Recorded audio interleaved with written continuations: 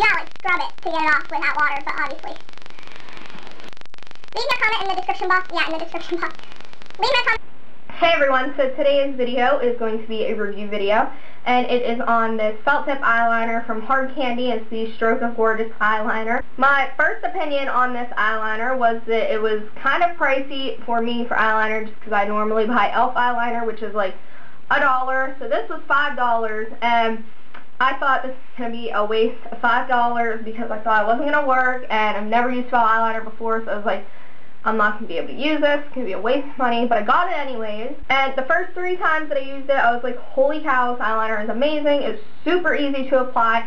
My wings came out like perfectly even, which is rare because obviously they don't want to be even ever. But they were even with this, and I was really pleased with purchasing this for $5 and I was going to recommend it to everybody. Well, I used it three times and it stopped working. I don't know if I'm doing something wrong or if I just got a faulty eyeliner pencil, but it just doesn't work anymore. The eyeliner, like, it's still full, but the applicator kind of bent on the tip. But yeah, the tip bent and then it was just, like, extremely horrible from there on out. It just doesn't work anymore. The tip, like I said, it bent, so I can't apply my wings, and it's just bad. So I know this eyeliner is not empty because when you use the side of the applicator, it still works and everything comes out. But the tip of the eyeliner does no longer work. I don't know, like maybe I did something wrong and screwed it up, or if it's just like manufacturer's mistakes, but it doesn't work for me anymore, which kind of sucks because I really did like this eyeliner. The payoff to it is actually really good. It's really dark and pigmented and I feel like it lasted longer than normal liquid liners do. They don't it didn't really smudge on me like normal liquid liners do.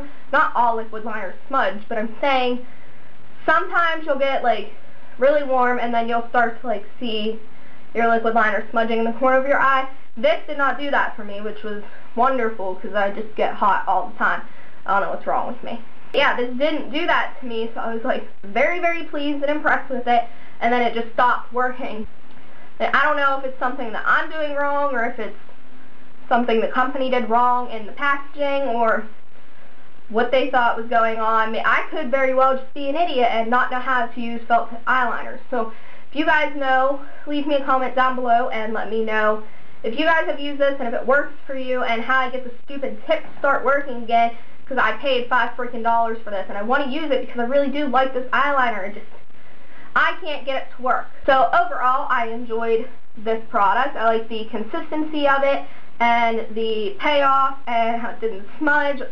I just very was very well pleased with this until it stopped working. So if you guys could please tell me how to get it to work and before you leave a comment down below and let me know how to get it to work, I did try to fix the tip, like I tried to like move it around and that didn't work. And I've also tried to shake it up, and shaking it up seems to help a little bit, but it still doesn't work on the tip. So I have no idea what to do. I don't know if like it's just broken. Should I return it? Can you return makeup that you already used? I don't know. Leave me a comment down below and let me know what you guys thought of this video. And leave me a comment down below if you know how to get this thing to work because I do want to use the rest of it. I really do like it. Or leave me a comment down below and let me know what a good felt tip eyeliner is from the drugstore. This is the only one that I can find, but, you know, it doesn't work. So that is it for this video. I hope you guys enjoyed. If you did, feel free to stick around and subscribe to my channel.